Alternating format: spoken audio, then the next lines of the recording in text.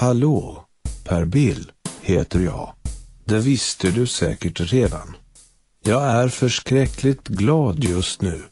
Lycklig. Sverige tillhör äntligen mig och mina bröder. Det var minsann på tiden. Vi har mycket att ta igen. Ställa till rätta. Och nu, så här efter maktövertaget, känns det angeläget att rensa luften en smula. Ni kanske kan förnimma följande. I september 2004 promenerar jag på Stadsgårdskajen med min son i barnvagn. Solen sken. Det var mycket trevligt. Jag tycker det är märkligt roligt att köra barnvagn vid kajen. Det är liksom spännande på något vis. Mycket tack vare fyllan antar jag. Jag menar, en riksdagsman ska väl kunna få ha kul med sin avkomma utan att bli nedslagen. Eller hur?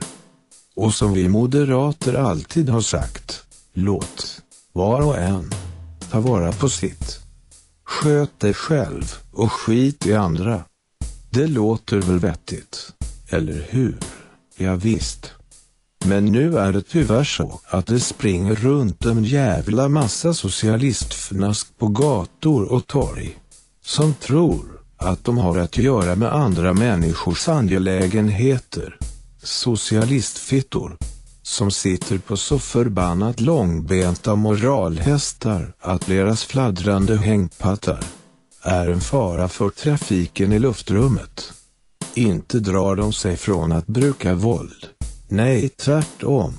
De ger sig på oss hederliga, av ren förstörelse. Vaktslynan som pucklade på mig, fick smaka på vassa borgarknogar. Hon ska vara jävligt glad att hon överlevde, ska jag tillägga. Per Bill tar ingen skit. Det ska ni veta. Ja, helt korrekt. Det är menat som en varning till er alla. Ser ni mig full på stan? Ropandes Sig Heil, Sig Heil, Sig Heil.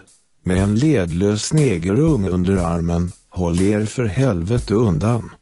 Ett litet råd, från mig, till er. Varsågoda. Sådär. Då var det avklarat. Det känns skönt. Nu ska vi njuta, tillsammans. Sverige ska äntligen bli ett land där det går, där det är okej, okay, att vara den man är. Ja, det vill säga, om du är en av oss, så är det okej okay att bete sig precis hur jävligt som helst. Bra, eller hur?